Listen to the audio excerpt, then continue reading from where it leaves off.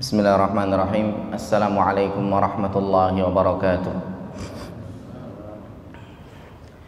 Innal hamdalillah nahmaduhu wa nasta'inuhu wa nastaghfiruh. Wa na'udzu billahi min shururi anfusina wa min sayyiati a'malina. Man yahdihillahu fala mudilla lah wa man yudlilhu fala hadiya lah. Wa ashhadu an la ilaha illallah wahdahu la syarika lah. wa ashhadu وأشهد أن محمدا عبده ورسوله لا نبي بعده. فإن أصدق الحديث كتاب الله وخير الهدى هدى محمد صلى الله عليه وسلم وشر الأمور محدثاتها وكل محدثة بدعة وكل بدعة ضلالة وكل ضلالة في النار. Para jamaah yang dimuliakan oleh Allah Subhanahu wa taala, Pada kesempatan pagi hari ini, hari Sabtu tanggal 9 Dzulhijjah tahun 1440 Hijriah atau 10 Agustus tahun 2019 kita melanjutkan kajian kitab Tafsir As-Sa'di karya Syekh Abdurrahman As-Sa'di rahimahullah. Pada kesempatan kali ini melanjutkan pembahasan sebelumnya merupakan pertemuan yang kedua tafsir surat An-Nisa ayat yang ke-11 sampai dengan ayat yang ke-12. Yang megang kitabnya ayatnya ada di halaman 17. Yang tidak punya kitab harapannya megang Quran. Karena kajian kita kali ini sedikit ekstra. Ya, kalau megang Quran insya Allah paham sedikit Ya kalau megang kitab ya dikit-dikit paham, dikit-dikit paham, dikit-dikit paham. Yang nggak megang Quran ini kerepotan nanti. Ya ini bahasanya terkait masalah warisan. Terkait masalah ilmu faraid. Akan tetapi akan kita bahas dengan gayanya gaya tafsir karena kajian kita adalah kajian tafsir. Kita tidak membahas dengan gaya faraid.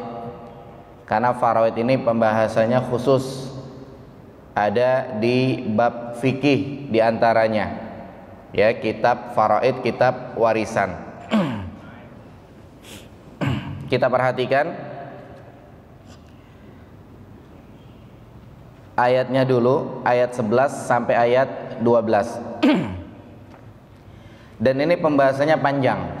Ya, harapannya diikuti sampai selesai karena kalau tidak sampai selesai ini fahamnya juga bakalan tidak selesai. Ya, kita perhatikan ayatnya sehingga yang megang Quran pun bisa menyimak. Allah Subhanahu wa taala berfirman dalam surat An-Nisa ayat yang ke-11 sampai 12 Yusikumullahu fi auladikum Allah berwasiat kepada kalian tentang anak-anak kalian Lezakari bagi laki-laki mislu hazil unsayain bagiannya adalah seperti dua kali anak perempuan. Ya di awal Allah berwasiat kepada kalian tentang anak-anak kalian. Yang laki-laki mendapatkan dua kali bagian perempuan. Fa in kunna nisaan fauqas nataini Fa'in kunna nisaan kalau anak perempuannya fauqas natain dua ke atas. Lebih dari dua. Bukan tiga ke atas tapi dua ke atas. Anak perempuannya ada dua ada tiga. Ini kan masalahnya tadi yang sebelumnya kalau anak perempuannya sama anak laki-laki berarti laki-laki dapat dua kali bagian perempuan. Kadang-kadang orang anaknya perempuan semua kadang-kadang perempuan satu. Kalau perempuan satu setelah ini ya yang sekarang dibahas fa'inkunna nisaan fauqas natain. Kalau anak perempuannya itu lebih dari dua falahunna thulutha ma tarak maka mereka mendapatkan dua per tiga. Sekali lagi jangan sampai bingung. Yang pertama lizakari mislu hazil unsayain. Bagi anak laki-laki mendapatkan dua kali bagian anak perempuan kalau ada orang ahli warisnya anak perempuan ada, anak laki ada, maka laki-laki mendapatkan dua kali bagian anak perempuan.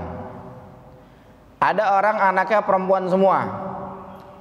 Fa'inkunna nisaan natain. Kalau anaknya perempuan itu lebih dari dua, ada anaknya perempuan semua, lima orang. Falahunna thulutha matarak, maka mereka mendapatkan dua per tiga. Ada anak, ada orang punya anak perempuan satu, ahli warisnya anak perempuan satu, yang lainnya ibunya, bapaknya dan seterusnya. Ada ahli warisnya anak perempuan satu. Wa ingkanat wahidatan falahan nis. Kalau misalkannya ahli warisnya anak perempuan seorang, maka dia anak perempuan itu dapatnya setengah dari warisan. Ya, nih bapak-bapak ada yang punya anak perempuan satu nggak? Tapi insya Allah saudaranya atau temannya ada tuh ya, punya anak perempuan satu. Ya ketika bapak atau ibunya anak perempuan itu meninggal, kemudian ada warisan, itu anak perempuan satu-satunya itu dapat bagian warisan setengah. Ada orang punya anak perempuannya lebih dari satu. Anaknya dua perempuan dua-duanya. Anaknya tiga perempuan tiga-tiganya. Anaknya lima perempuan lima-limanya. Maka kalau orang tuanya meninggal, kemudian ada warisan, itu mereka dapat dua per tiga. Ada orang anaknya lima laki perempuan, ada anaknya tiga laki perempuan, maka kalau orang tuanya meninggal ada warisan itu anak yang laki perempuan maka laki-laki mendapatkan dua kali bagian perempuan. Ini tiga kondisi yang berbeda. Kita lanjut.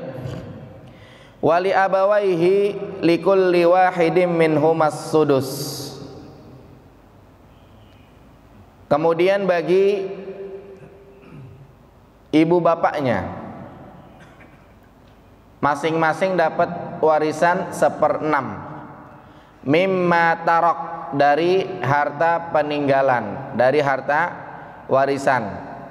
Ibu dan bapak dapat seperenam ingkana lahu walad. Kalau yang meninggal itu punya anak Fa'in lam yakun lahu waladun. Kalau yang meninggal itu tidak punya anak wa warithahu abawahu kemudian ahli warisnya adalah bapaknya fali ummihi sulus maka ibunya dapat sepertiga.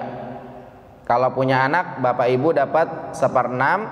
Kalau tidak punya anak maka hartanya kembali ke bapak.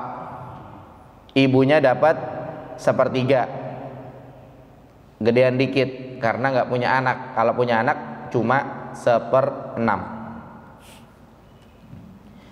Fa'ingkana lahu ikhwatun Kalau misalkannya yang meninggal itu punya saudara Fali ummihis sudus Maka ibunya dapat seperenam Yang meninggal nggak punya anak Ibunya dapat seperenam Tapi yang meninggal punya saudara. Berarti ibunya yang meninggal nggak punya anak, ibunya dapat sepertiga. yang meninggal nggak punya anak ibunya dapat sepertiga. Eh tahu taunya yang meninggal punya saudara maka ibunya nggak jadi dapat sepertiga. Balik lagi dapatnya seperenam ya. Susah? Diikuti ya. Saya udah bilang tadi kalau megang bukunya insya Allah ya pahamlah bisa ngikutin. Kalau megang Quran ya paham juga insya Allah. Yang tidak megang apa-apa berusaha untuk paham. Ya jangan meleng nanti ketembak. Ya kita lanjut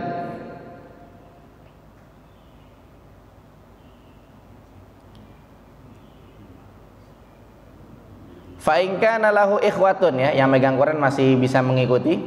Fa'inka nalahu ikhwatun fali ummihi sudus. Kalau misalkannya yang meninggal itu punya saudara, maka ibunya dapat seperenam. Nanti akan terulang lagi karena kita belum jelasin tafsirnya. Baru baca ayatnya saja. Mimba diwasiyatin yusi biha audain. Itu semuanya setelah wasiat yang ditunaikan dan setelah utang yang dibayar baru bagi warisan. Aba hukum bapak-bapak kalian wa abna hukum anak-anak kalian aba hukum artinya orang tua kalian bapak ibunya wa abna hukum kemudian anak-anak kalian sampai anak cucunya dan seterusnya La tadrun, kalian tuh nggak tahu ayyuhum aqrabu lakum naf'an. Yang paling dekat sama kalian itu siapa? Kalian nggak tahu. Ini masalah gaib. Yang tahu cuma Allah Subhanahu wa taala. Mungkin sekarang dekat. Tahu-tahu besok nggak dekat. Ya. Kemarin saya sampaikan kisah ada orang tua sayang sama anak perempuannya. Ada anak laki satu tapi cacat cacat dalam artian agak kurang lah gitu. Kemudian yang disayang sama orang tuanya yang anak-anak perempuan nih. Pikirnya kalau udah tua anak perempuan ngerawat. Eh ternyata pas orang tuanya udah tua justru yang ngerawat anak lakinya yang cacat itu yang dikesampingkan. La tadruna ayyuhum aqrabu lakum naf'an kata Allah. Kalian nggak tahu yang paling dekat sama kalian itu siapa. Makanya bagi warisannya sesuai aturan Allah saja. Faridatan minallah. Ini adalah kewajiban dari Allah, syariat dari Allah. Innallaha kana aliman hakima. Sesungguhnya Allah itu alim sama hakim. Allah Maha mengetahui, Allah Maha bijaksana sehingga aturan pembagiannya sebagaimana yang telah ditetapkan.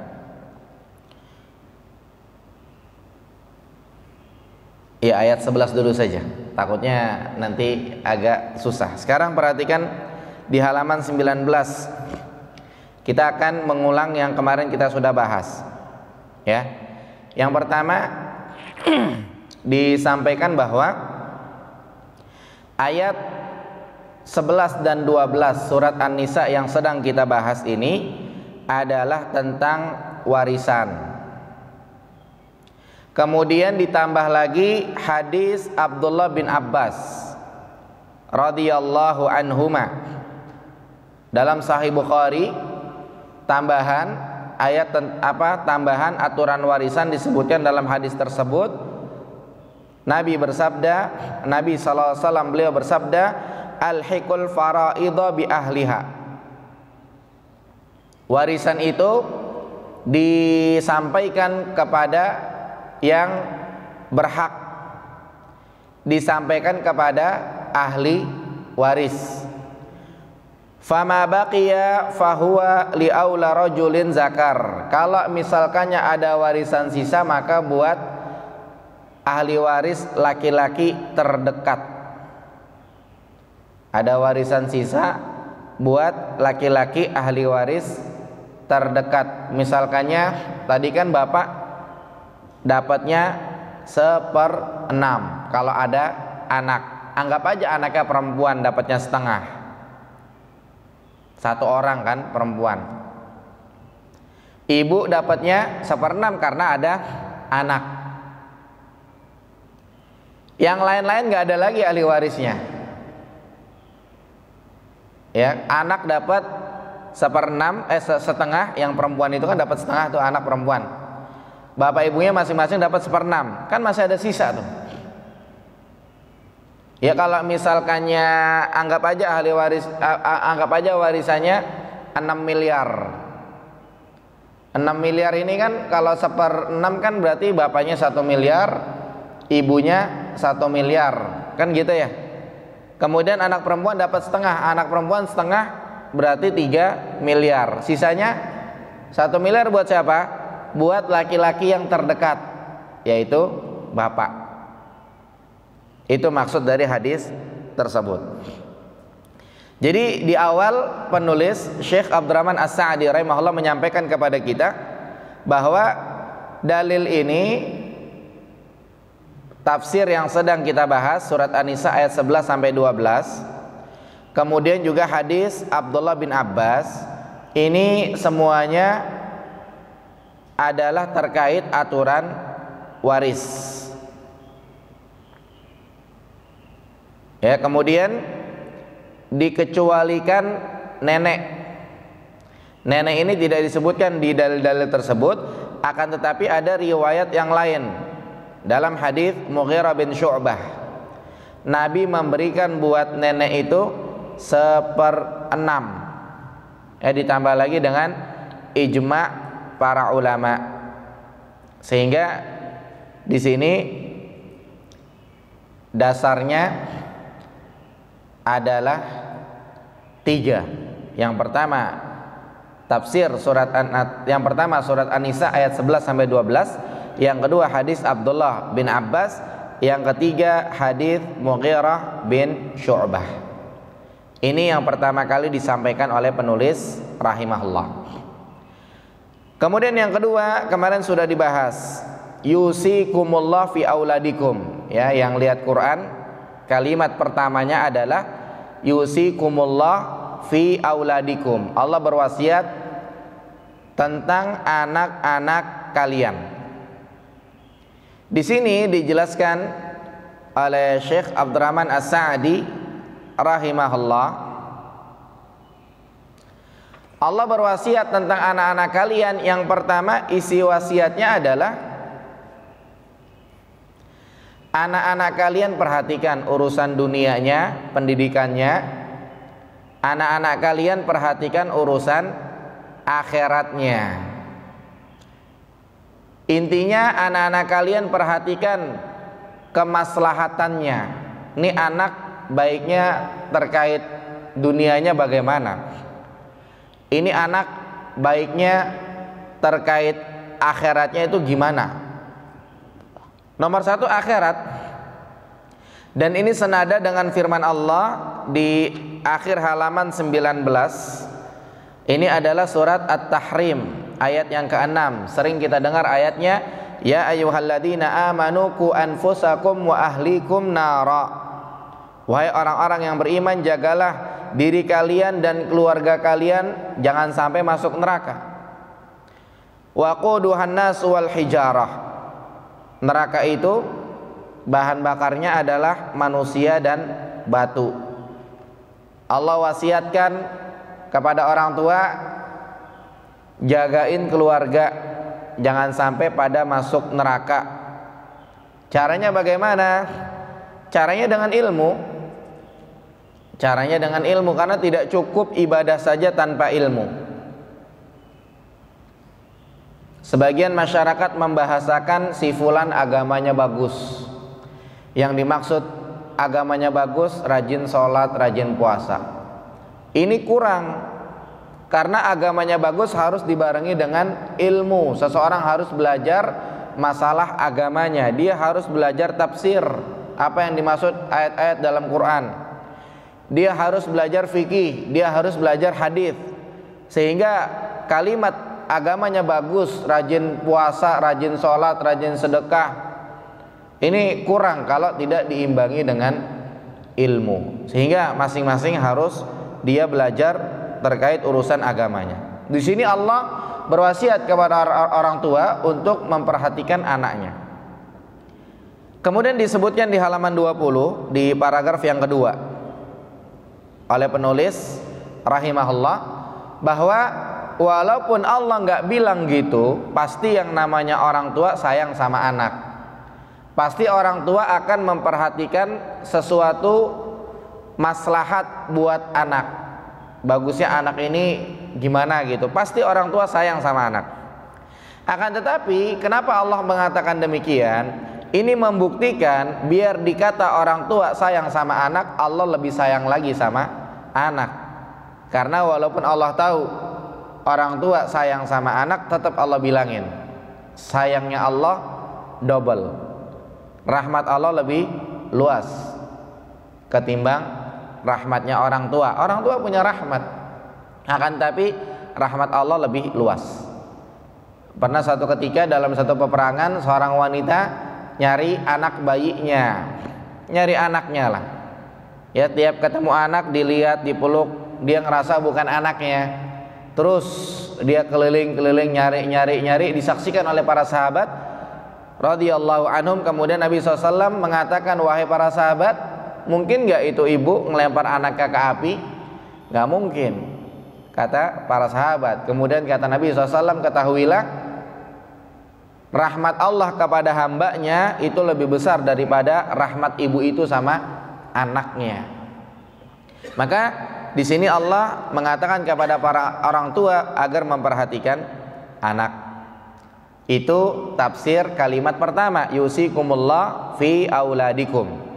Kemudian tafsir kalimat berikutnya, lizzakari mislu unsayain, laki-laki mendapatkan dua kali bagian perempuan yang dimaksud adalah anak laki. Ya anak laki ini dapat dua kali bagian anak perempuan. Ada orang meninggal warisannya banyak. Anaknya ada lima laki perempuan. Terserah lakinya satu perempuan tiga lakinya dua perempuannya lakinya satu perempuannya empat atau lakinya dua perempuannya tiga. Yang penting anaknya lima contoh atau lakinya empat. Perempuannya satu misalnya. Kalau seperti ini ada laki ada perempuan anaknya maka laki-laki dapat dua kali bagian perempuan. Termasuk anak adalah anaknya lagi. Tapi anak laki. Yang perempuan enggak. Ya misalkannya ahli warisnya anaknya. Ada lima. Ada laki ada perempuan. Ini kan jelas Anggap aja sekarang anaknya lima. Yang laki satu Yang perempuan empat. Tapi anak lakinya udah meninggal. Yang ada Cucu. Maka sama. Kalau cucunya itu laki perempuan ya Sama. Ya. Cucu laki perempuan Atau misalkannya yang anaknya pada nggak ada nih yang ada cucu. Cucunya laki perempuan aturannya sama. Laki-laki dapat dua kali bagian perempuan. Jadi di sini anak anaknya lagi anaknya lagi anaknya lagi. Aturannya sama dengan yang di atas. Ya kalau misalkannya anaknya perempuan satu. Kemudian ada anak laki tapi udah meninggal yang ada adalah anaknya lagi. Ya yang ada adalah anaknya lagi. Maka ini dapat warisan. Ya cuma di sini disampaikan bahwa laki-laki dapat dua kali bagian perempuan ini berlaku untuk anaknya atau untuk cucu. Laki-laki dapat dua kali bagian perempuan. Detailnya tergantung yang ada siapa karena nanti bakal berbeda. Sekarang kita anggap yang ada anaknya lima, ada laki ada perempuan, maka laki-laki dapat dua kali bagian perempuan. Kemudian yang kedua kita anggap yang ada cucunya lima, ada laki ada perempuan, maka laki-laki dapat dua kali bagian perempuan. Itu maksudnya. Jadi laki-laki dapat dua kali bagian perempuan itu anak bukan Bapak dapat dua kali bagian, ibu, abang dapat dua kali bagian, eh, yang perempuan itu saudara-saudara tidak. Tapi yang dimaksud dua kali bagian perempuan ini laki-laki dapat dua kali bagian perempuan, adalah anak atau cucu atau bawahnya lagi, bawahnya lagi dan seterusnya. Karena bisa jadi warisan dari dulu nggak dibagi-bagi. Pas mau dibagi udah ada bawahnya lagi, bawahnya lagi, bawahnya lagi. Nah ini ada istilahnya. Ya, ada istilahnya munasakhat. Ini pembahasannya khusus karena kita bahasa tafsir, kita nggak panjang lebar ke arah situ. Kemudian kadang-kadang orang itu anaknya perempuan semua lima-limanya perempuan makanya itu kalimatnya yang kedua fa in kunna nisaan falahunna thulutsa ma tarak ya kalau misalkannya anaknya lima-limanya perempuan maka mereka dapat warisannya dua per tiga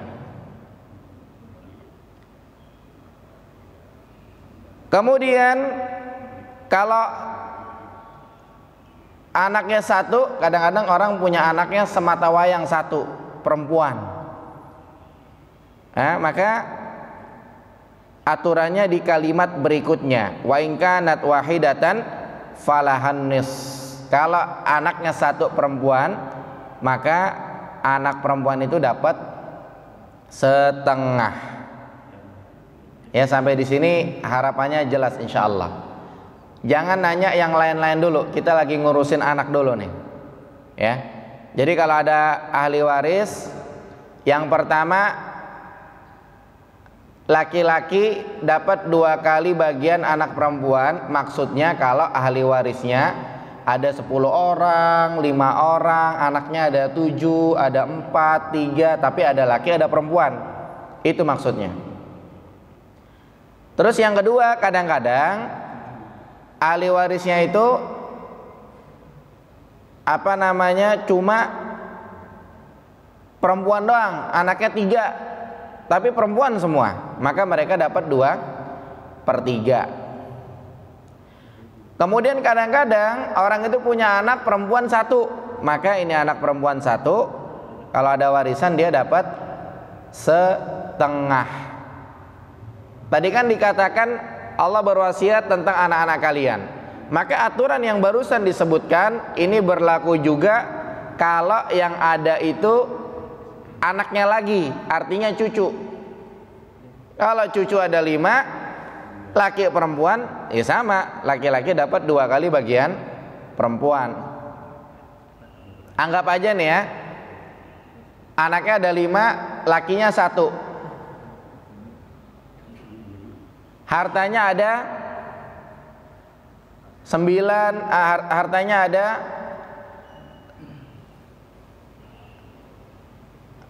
hartanya ada misalkannya hartanya ada 6 miliar anak perempuannya 4 lakinya satu laki-laki dapat dua kali bagian perempuan berarti anak perempuan masing-masing dapat satu miliar satu miliar satu miliar kan 4 miliar udah habis tuh sisa 2 miliar kan Laki-laki dapat dua kali bagian perempuan. Lakinya dapat dua miliar. Itu contoh sekilas saja.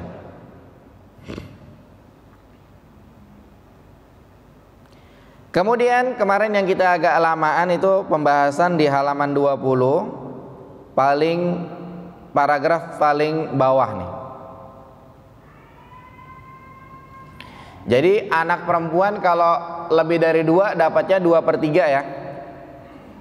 Yang pertama dua per tiga ini lebih dari dua ini maksudnya apa? Lebih dari dua maksudnya bukan tiga ke atas. Lebih dari dua maksudnya dua ke atas. Kenapa? Karena kalau anak perempuan satu Kata Allah dapatnya setengah. Kalau dikatakan lebih dari dua maksudnya tiga Nanti yang dua anak dapatnya berapa tuh? Berarti kan nggak nggak jelas aturannya. Sehingga yang dimaksud lebih dari dua adalah lebih dari, lebih dari dua adalah dua ke atas bukan tiga ke atas. Karena kalau satu aturannya dapat setengah. Kemudian tadi disebutkan lidzakari mithlu hadzil laki-laki dapat dua kali bagian perempuan. Anggap aja misalkannya hartanya 3 miliar. Berarti perempuannya dapat satu miliar laki-lakinya dapat dua miliar. Ya. Kemudian itu kalau misalkannya satu laki satu perempuan. Berarti istilahnya kan yang perempuan dirugikan gitu kan istilahnya dalam tanda kutip. Padahal sama saudara laki maka ketika yang perempuan ngumpul sama saudara perempuan mereka dapatnya dua per tiga.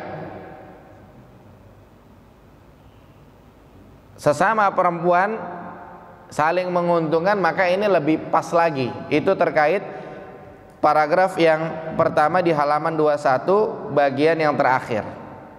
Ya sekali lagi.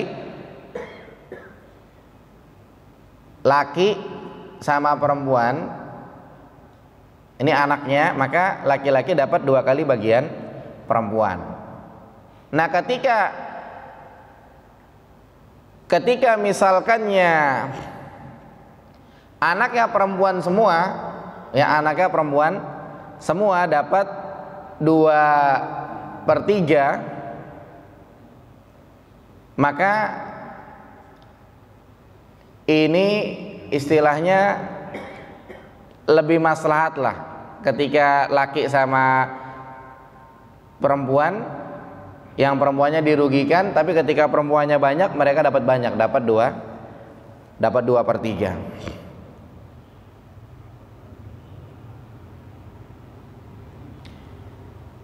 Kemudian yang berikutnya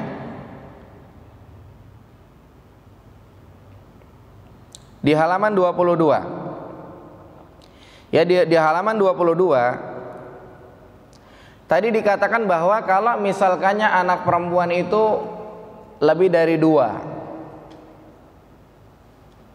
mereka dapatnya dua per tiga dari warisan. Karena kalau anak perempuannya satu kan dapat setengah.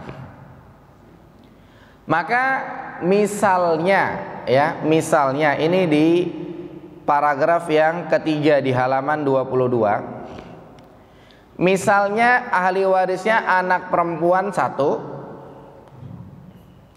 kemudian cucu perempuan satu. Tadi kan kita udah katakan kalau aturan yang di awal berlaku buat anak dan anaknya lagi. Kalau perempuan lebih dari dua dapat dua per tiga. Kalau perempuannya satu hanya dapat setengah.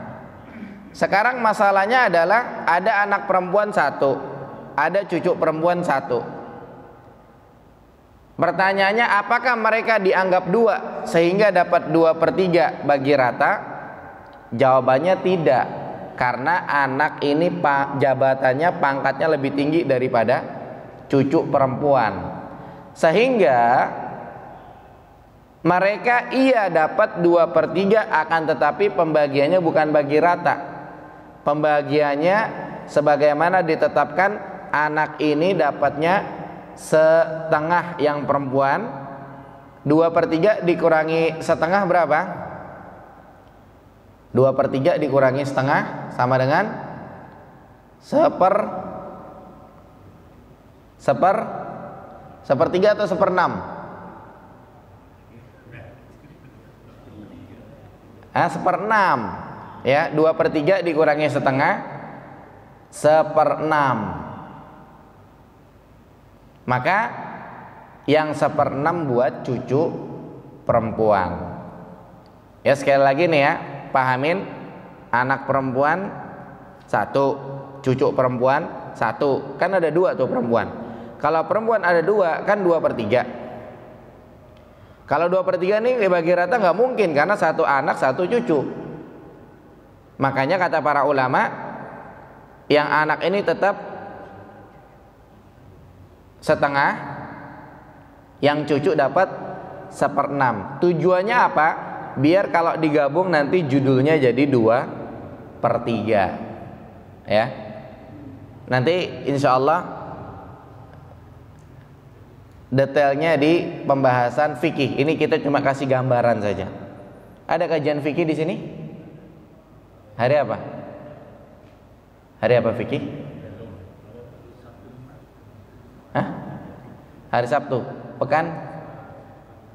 Pekan ke pekan ke hari Ahad mungkin. Hari Ahad. Ada Vicky hari Ahad pekan 2 dan 4 subuh. Subuh. Sekarang bahasanya apa Vicky? Kurban. Sebelumnya zakat.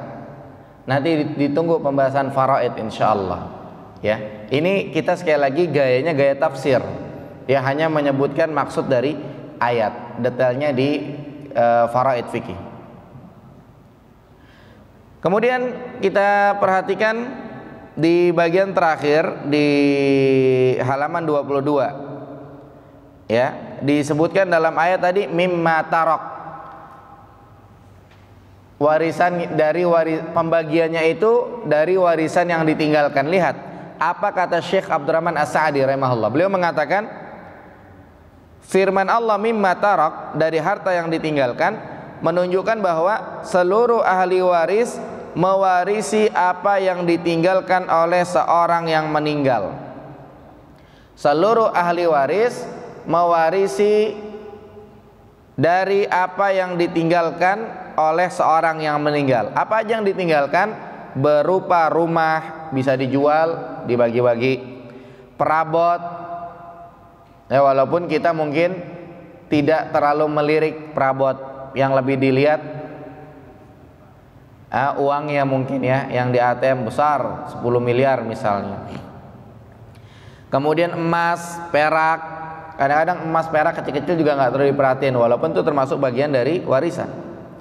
Ataupun lainnya hingga diat atau denda yang belum terlaksana kecuali setelah ia meninggal. Diat misalnya nauzubillah ya ada seorang kaya raya bunuh orang suruh bodyguard gitu kan dalam aturan hukum Islam kalau ditetapkannya diat maka dia harus bayar diat. Diatnya 100 ekor onta. Ya 100 ekor onta. Onta ini kalau harganya 1 juta 100 ekor berarti 100 juta. Tapi onta enggak 1 juta harganya. Sapi berapa pak sapi?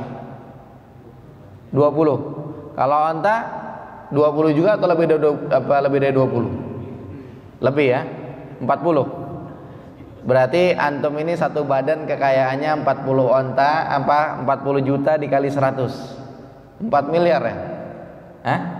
4 miliar. Tapi waktu itu ada kejadian di Arab Saudi yang keren jatuh itu satu orang dikasih dietnya 2 miliar. Kalau saya tidak salah.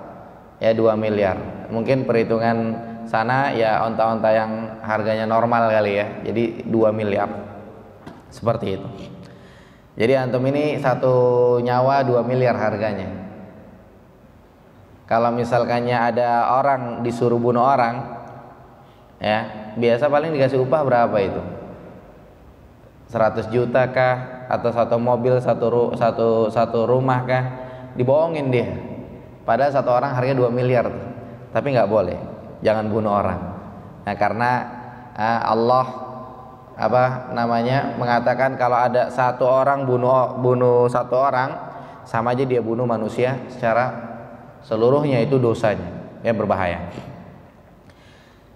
Itu tadi kita ingin sampaikan masalah diat ya. Kemudian juga termasuk utang-utang. Ini utang-utang juga warisan ya pak. Ternyata misalkannya ninggalin utang 3 juta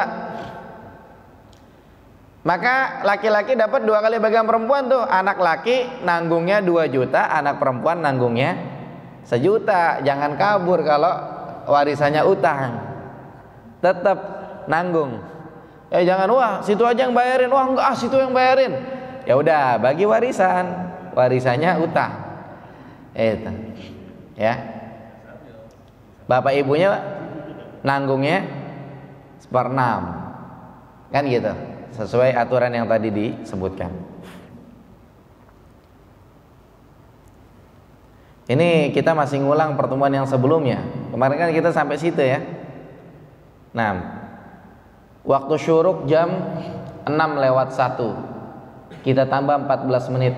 ya karena jam 6 lewat 1 ini masih waktu dilarang sholat ya jadi waktu dilarang sholat yang pertama setelah sholat subuh sampai terbit matahari. Kemudian termasuk waktu dilarang sholat dari terbit matahari sampai matahari setinggi tombak. Tombak itu berapa tingginya sih?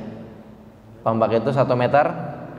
Dua meter ya? Tombak dua meter kira-kira matahari untuk naik dua meter ini kira-kira 15 menit lah makanya kita selesai jam 6.15 insya Allah jadi nanti kalau yang mau sholat syuruk sudah aman nah Sebelum dilanjut ada yang bertanya atau tidak? Jangan nanya dulu kali ya, kita lanjut dulu. Kita lanjut. Soalnya kemarin ada yang nanya laki-laki dapat dua kali bagian perempuan, anak laki dapat dua kali bagian perempuan. Terus anak perempuan kalau satu setengah, anak perempuan kalau misalkannya anaknya lebih dari dua, dua per tiga. Terus sisa warisannya dikemanain gitu. Pertanyaan begitu, padahal belum kelar kita bahasanya. Kita lanjut. Perhatikan di halaman 23, wali abawaihi. Ya, yang yang megang Quran berarti lihat lanjutan ayatnya, wali abawaihi. Abawaihi. Di sini kata-katanya ab. Bapak ya. Tapi dibilangnya abawai. Maksudnya ibu dan bapak. Bukan bapaknya ada dua. Tapi maksudnya adalah ibu dan bapak likulli wahidim min humas sudus mimma tarak bagi keduanya itu seperenam dari harta yang ditinggalkan ingkana lahu walad. Kalau yang meninggal punya anak. Ya di sini yang penting punya anak. Contoh misalkannya ada duda kaya. Nikah sama gadis. Duda kaya anak tiga. Nikah sama gadis. Seumur pernikahannya dari gadis ini nggak punya anak, tapi tetap namanya yang meninggal itu punya anak karena kemarin bawa anak tiga gitu. Jangan pikirnya kan nggak punya anak Ustadz dari istri yang baru, bukan itu bahasanya. Itu Duda punya anak yang kemarin gitu. Atau misalkannya ada janda kaya anak tiga nikah sama bujang nggak punya anak Emang bujang nggak punya anak ya? Kemudian seumur pernikahannya nggak ada anak, cuma anak tiga ini. Seiring berjalannya waktu Allah menakdirkan janda itu meninggal, istrinya meninggal, janda kaya tadi. Maka itu namanya punya anak, gitu. Jadi bapak ibunya dapat seper enam kalau punya anak. Di sini perhatikan yaitu anak-anak si mayit atau cucu-cucunya dari anak laki-lakinya saja.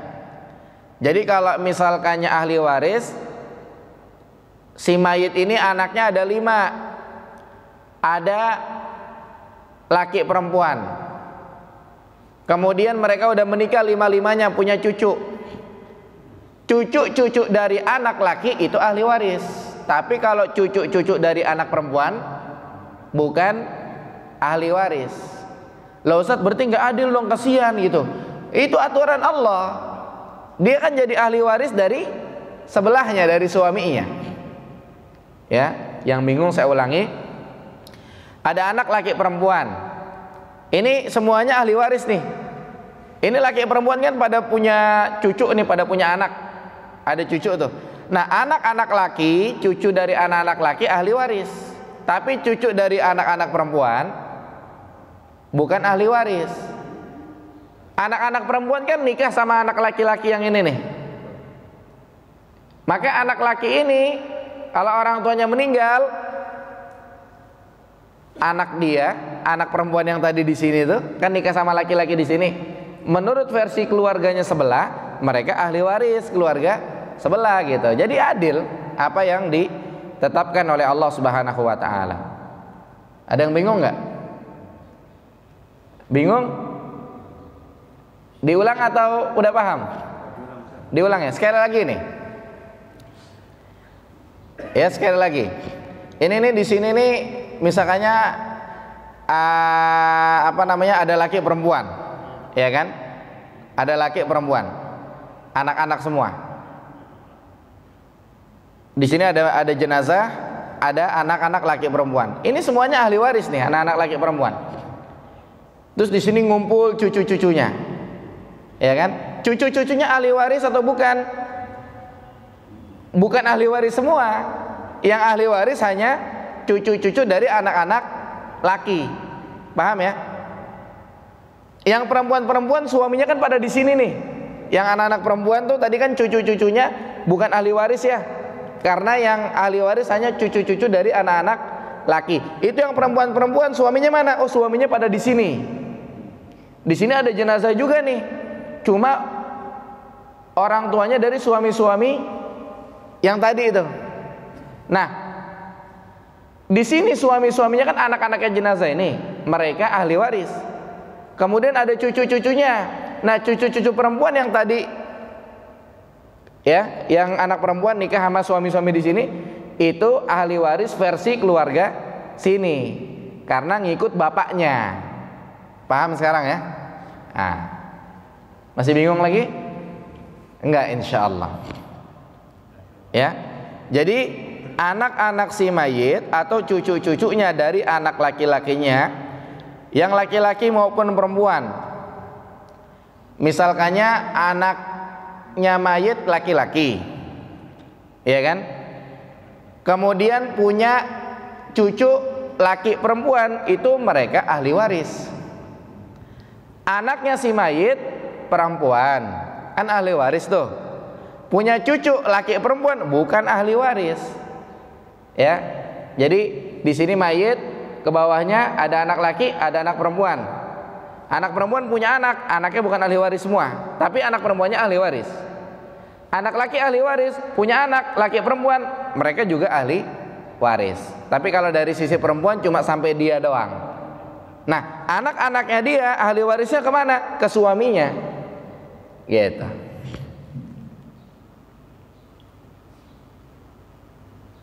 Adapun ibu ia mendapatkan tidak lebih dari seperenam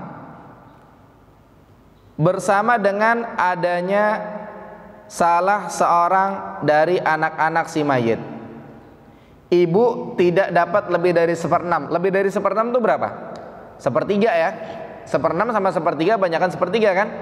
Ah, ibu nggak dapat sepertiga kalau ada anak-anaknya si mayit. Sedangkan ayah dengan adanya beberapa anak laki-laki tidak berhak mendapat lebih dari seperenam. Ayah, misalkannya anaknya si mayit ada laki satu, perempuan satu.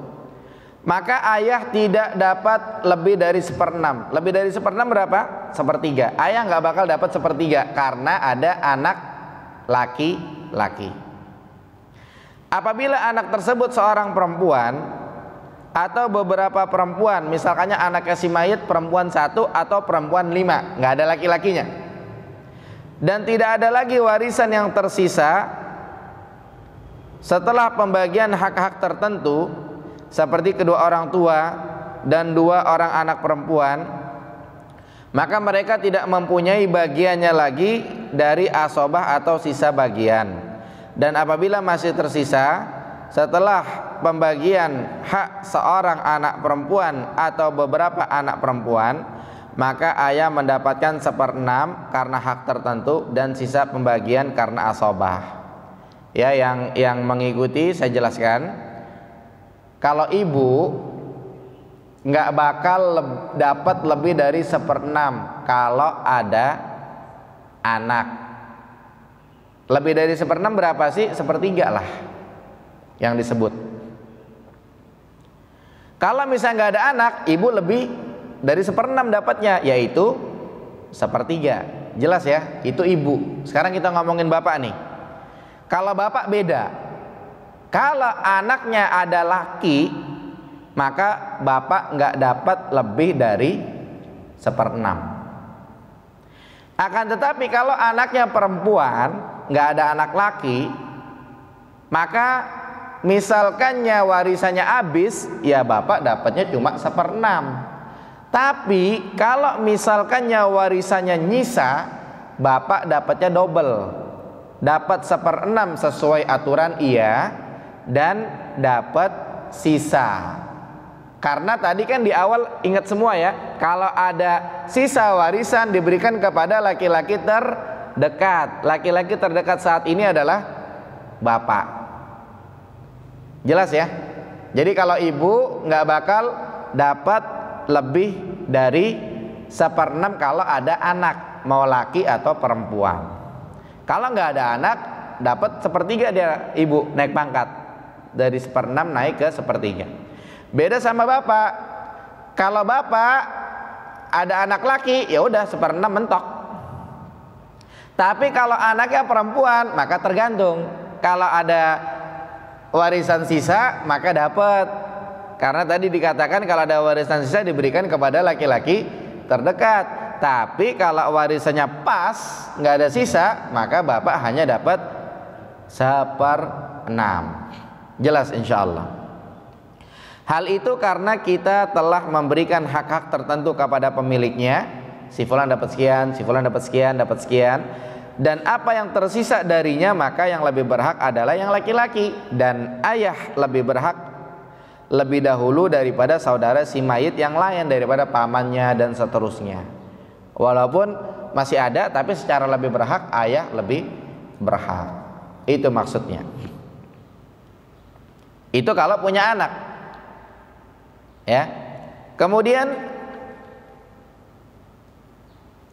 yang berikutnya Fa in lam yakun lahu waladun wa warithahu abawahu fali ummihi sulus. Kalau misalkannya tidak ada anak yang meninggal nggak ada anak nih. Kemudian ahli warisnya bapaknya sama ibunya. Ahli warisnya bapaknya ya, bapaknya. Maka ibunya dapat seper tiga ya jadi kalau misalkannya nggak ada anak ahli warisnya adalah bapaknya saja ibunya dapat sepertiga maksudnya yang tersisa da, yang tersisa adalah ayah. Ya yang maksudnya yang tersisa adalah ayah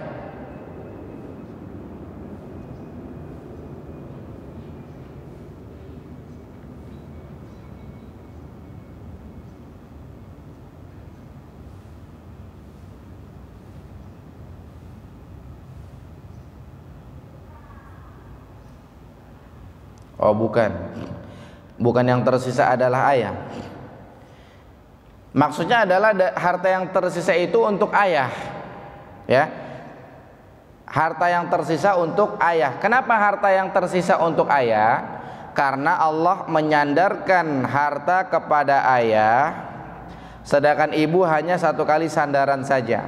Lihat Kalimat yang pertama tadi ingat semua enggak? Wali abawaihi yang saya bilang tuh. Wali abawaihi artinya bapak dan ibu. Cuma kata-kata bahasa Arabnya abun ya abawaihi abi gitu kan.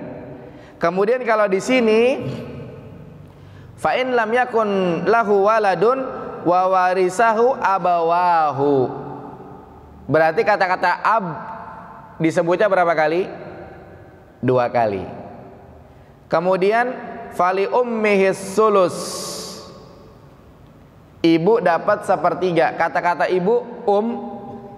Tadi ada nggak kata-kata um? Nggak ada ya ada adanya ab. Ab ini kan dua kali. Um ini hanya satu kali.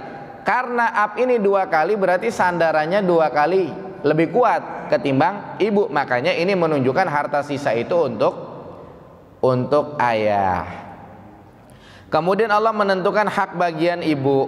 Ibu itu sepertiga. Itu menunjukkan bahwa sisanya adalah hak ayah. Dengan demikian diketahui bahwa ayah dalam kondisi tidak adanya anak-anak dari si mayit tidak memiliki hak tertentu. Akan tetapi ia mewarisi dengan cara asobah seluruh harta ya, asobah itu maksudnya apa seluruh harta atau apa-apa yang tersisa dari pembagian hak-hak tertentu. Jadi di dalam warisan itu ada namanya asobah ya ada namanya asobah ada namanya ashabul furud. Ashabul furud itu furud farad farad far, fardu ya yang udah ditetapkan setengah sepertiga seperenam seperempat. Itu namanya farad. Ada namanya asobah. Asobah itu yang tidak ditetapkan. Kayak anak laki-laki berapa bagiannya kalau sendiri? Kalau berdua kalau bertiga. Ada nggak tadi disebutin? Tidak ada. Namanya asobah. Makanya kalau ada orang meninggal ada warisannya Anak laki dapatnya berapa? Oh, ntar dulu deh. Nggak ada nih disebutin di Quran anak laki dapatnya berapa. Ya kan? Ibu dapatnya berapa? Oh ibu dapatnya seperenam soalnya ada anak laki-laki nih kan gitu. Kemudian bapak dapatnya berapa? Bapak dapatnya seperenam soalnya ada anak laki-laki nih. Kemudian si fulan si fulan dapatnya oh pada nggak dapat ada anak laki nih. Istrinya dapat berapa?